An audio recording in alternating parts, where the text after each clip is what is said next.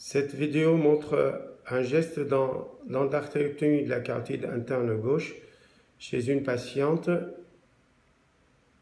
On voit ici la carotide commune, la carotide interne et on voit le site d'endartérectomie avec la présence d'une sténose résiduelle qu'il faudrait surveiller de façon très régulière car il y a déjà une certaine accélération de flux avec la présence donc de cette sténose résiduelle et on voit très bien la plaque qui n'a pas été complètement levée.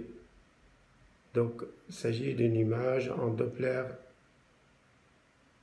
couleur pulsée.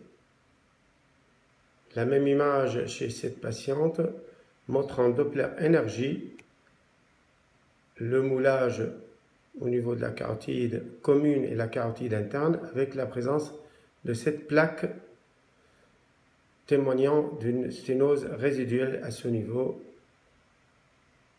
Comme je dis, il faudrait la surveiller de façon très régulière.